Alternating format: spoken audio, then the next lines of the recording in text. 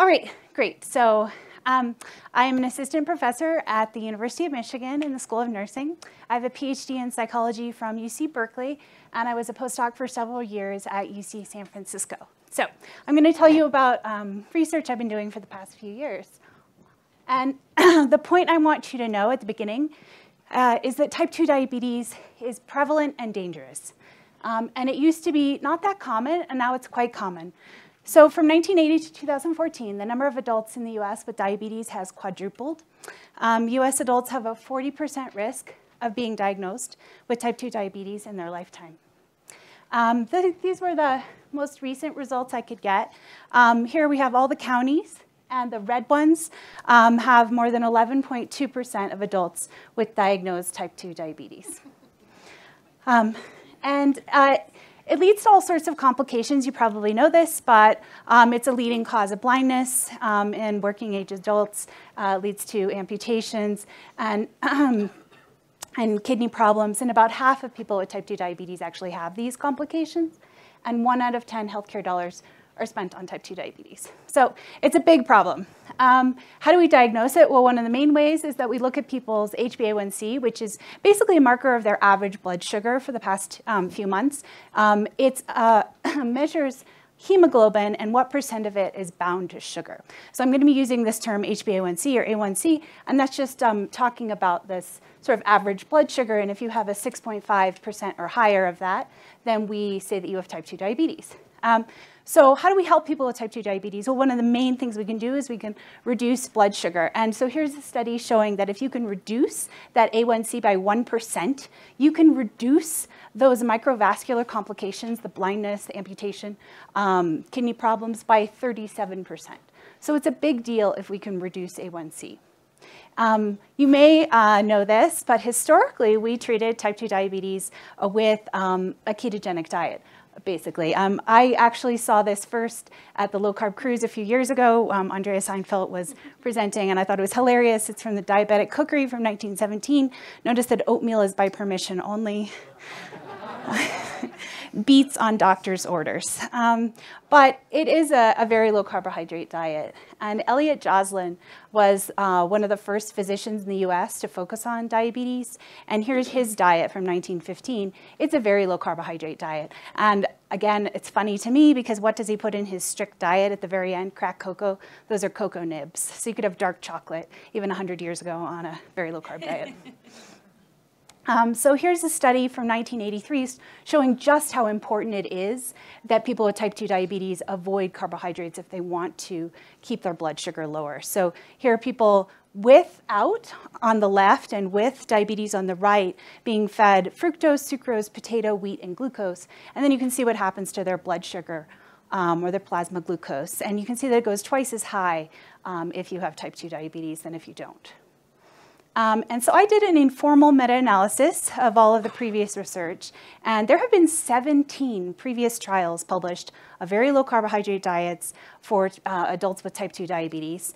The average length was 12 months, and on average, A1C dropped a unit of 1%, and body weight loss was 8%. We say that if people lose at least 5%, that's an excellent metric for improved health. And I was part of a review a few years ago where we talked about why type 2 diabetes should be um, treated with a very low carbohydrate diet. But you might look at this and think, 17 trials, that's enough. Um, but I, I want to keep going. Um, I, have talked um, to the American Diabetes Association and um, they're, they're looking for programs that have even lower dropout, longer adherence. And so I'm trying to create a program that has great dietary adherence, high program satisfaction, few dropouts. And also lately, um, the most recent recommendations from the American Diabetes Association says basically we need to prescribe these behavioral programs for people with type 2 diabetes who are motivated to lose weight. So, intervention development. What have I been doing for the past few years? I've created a novel intervention for type 2 diabetes. We talk about positive affect, mindfulness, lots of behavioral support, exercise and sleep guidelines, and then low carb, all with the goal of trying to improve adherence and health. So this crowd doesn't need to know that much about the diet, right? Um, so it's a very low carbohydrate ketogenic diet. Uh, people are encouraged to eat 20 to 35 non-fiber grams of carbs a day.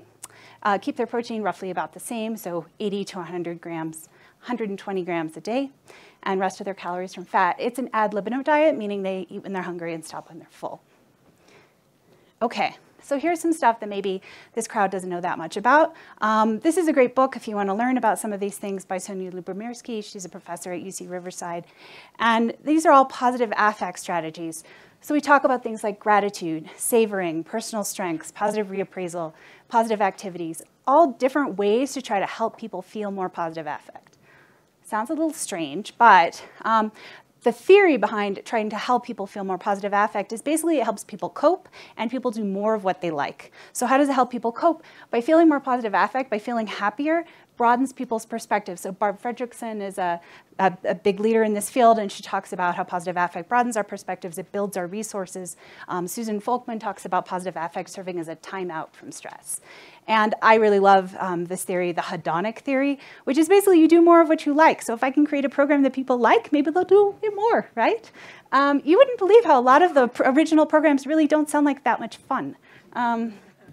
So we also added stuff about mindfulness and mindful eating. So this is awareness and acceptance of hunger and fullness, cravings and triggers, flavor, texture, aroma, thoughts and feelings.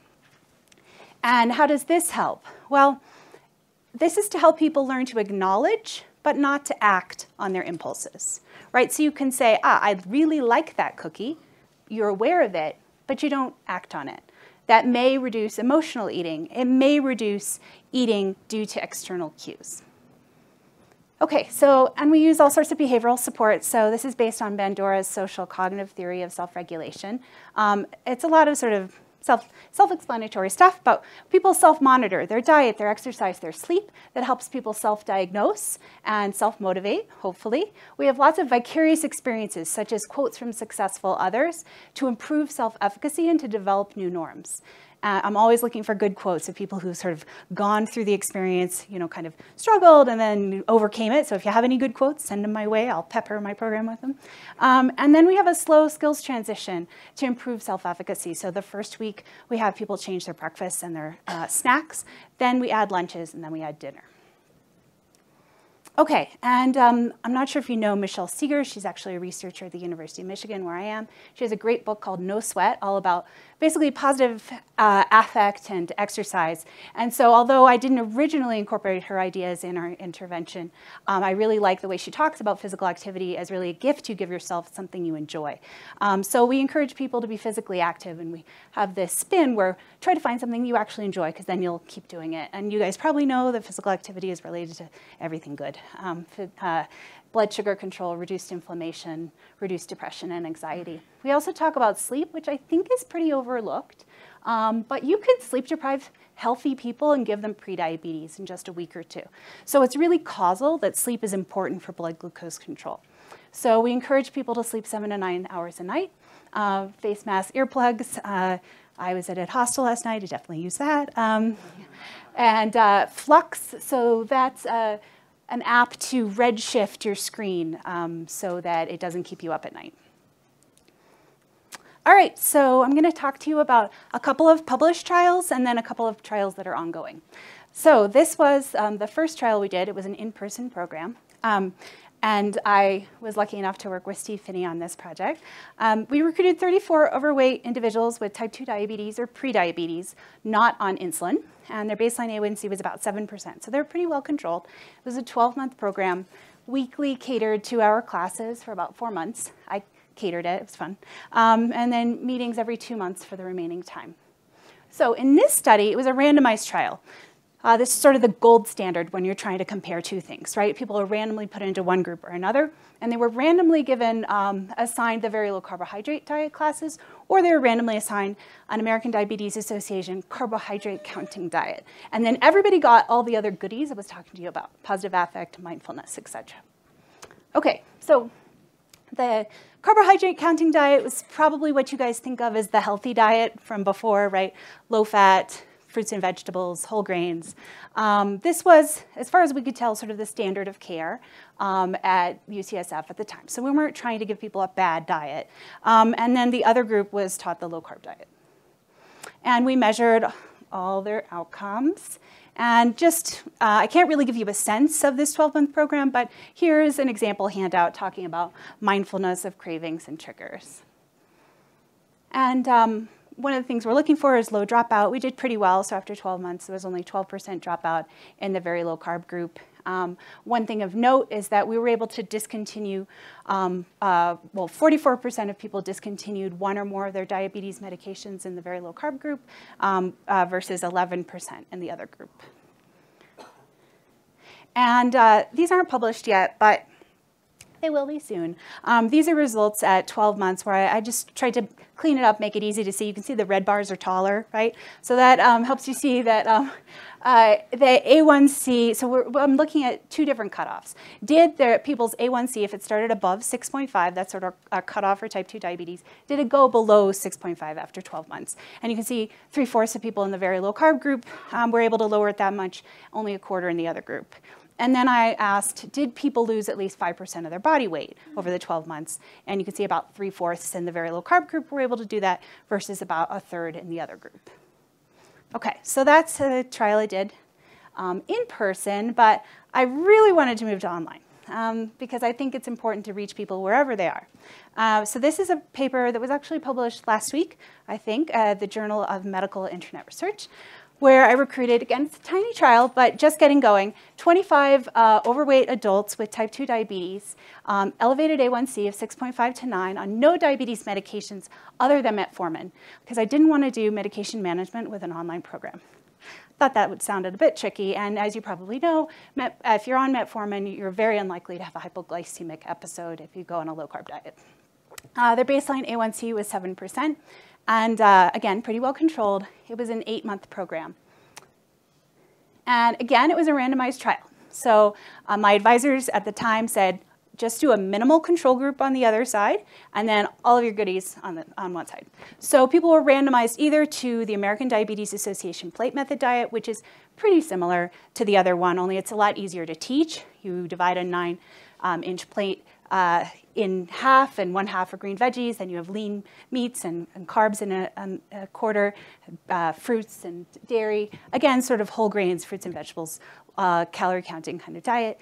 And then everybody else um, were assigned to uh, the very low carbon goodies program.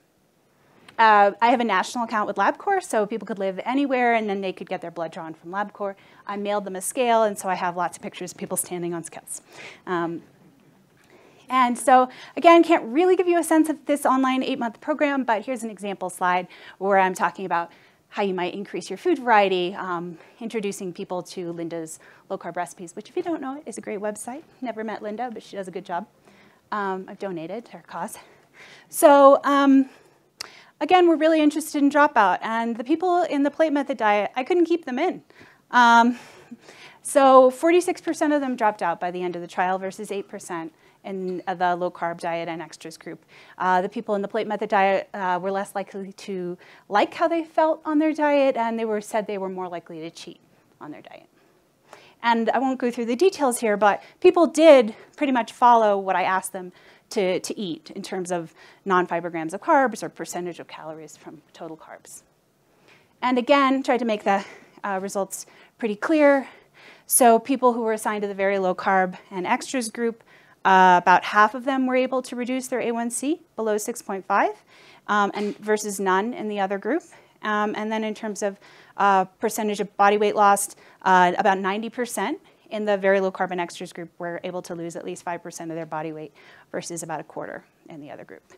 So at this point I said, do I have to keep assigning people to the ADA diet? And I started to do intervention development for the very low carb um, diet online program that I've developed. Oh, before I move on, we call this the Michigan football plot. Um, and uh, this sort of tracks A1C and weight uh, together. And you can kind of see that the red lines, those are the people in the very low carb group, they're sort of shooting down at the beginning and then there's kind of less activity. It's not, the lines aren't quite as long. And that let me know that I, I, was getting a lot of change that first four months of the trial. And then the last four months, maybe not so good. So I realized I had to keep, I had to pump up the, the intervention to make it continue, to make it continue to be motivating for people to engage. And all those circles are people who dropped out. So you can see the blue group, they're just like gone. Um, Oh, and here are some participant comments. So somebody said, things are going very well, still excited by the weight loss and blood glucose levels. Thanks for being there. Look forward to the messages each week. And someone else said, very happy with the diet, lack of hunger, weight loss, down 28 pounds in six weeks or so. Had a diabetes checkup with my doctor. My A1C was 5.8, so all good. So these are sort of standard happy comments from participants. So now I'm moving on to optimizing the ketogenic and extras uh, program. And I'm in the middle of running a 12-month trial. So I took my eight-month program and tried to make it super awesome for 12 months. And then I'm uh, varying other pieces. So we recruited 44 overweight individuals with type 2 diabetes, again, on no diabetes medications other than metformin. Their baseline A1C was 8.4, so they're a little less well controlled, and it's a 12-month program. So what have I been doing to try to improve it? Um, I did a full factorial design. It's a two by two by two. So I'm testing three factors, um, eight groups, and uh, that means everybody gets, uh, well, it's a little hard to explain. But anyway, people are either going to get text messages or not, the breath meter or not, food and book gifts or not. So I've written more than 200 unique text messages that support, and that took a while, it's a lot of fun though, um, that support all of the materials that I teach in the class. They come to people, they don't have to sort of uh, reach out to me. I'm sending them inspirational quotes or links to recipes or whatever I think would be interesting. And again, not repeating, it's not like, are you doing low carb? Um, it's a lot of stuff to sort of um, support and excite and inform people. Um, so I, I send people those text messages or not. Um, I assign them to get a breath meter to measure their ketones or um, urine strips. And then I send them lots of gifts from Amazon um, so, or, or not. So, you know, there are so many fantastic ketogenic diet cookbooks. So I picked out I, and I send them even more than this, actually, over the 12 months. So I picked out some great ones. Um, and then I send them some kind of maybe weird, unusual low-carb foods like coconut flour, chia seeds, and almond flour, so they're more likely to try making the low-carb foods. You know, because you can make fantastic low-carb waffles, muffins, etc., if you just have the right tools. So here are some quotes. Um, this is from a participant whose A1C reduced from 8.2 to 6.3 after five months. She says, I'm very happy with my new state of health. My doctor reduced my metformin in half. I want to thank you for giving me control of my sugar cravings and my blood glucose levels. I now have the tools to completely control my own diabetes. Food no longer dominates my thoughts.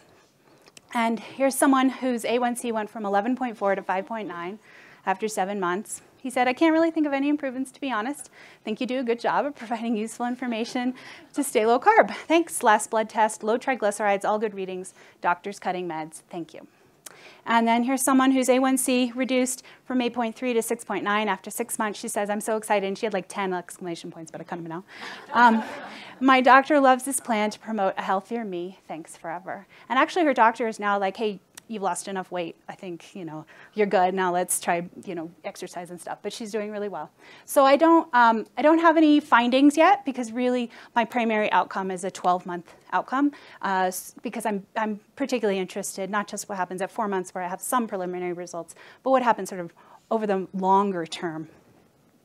So stay tuned. Um, and now I'm starting a third version of the online program where I'm varying positive affect, mindfulness, and tracking. So here's my little advertisement section. I'm now recruiting at succeedstudy.org. So if you know anybody who might be uh, eligible for this trial, please send them my way. So they can just fill out an online survey and I'll get back to them either way. So I have, uh, I was lucky enough to get a five-year grant from the National Institute of Health from NIDDK. Um, they fund research on diabetes.